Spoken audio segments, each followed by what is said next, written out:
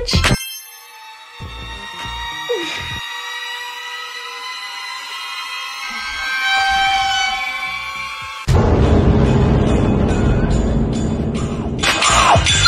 So this is Marie Chouinard company. She's been known for using shock factors a lot. This one is funny, especially out of context. She says it's full of beauty and humor. Someone sent me a meme to look at.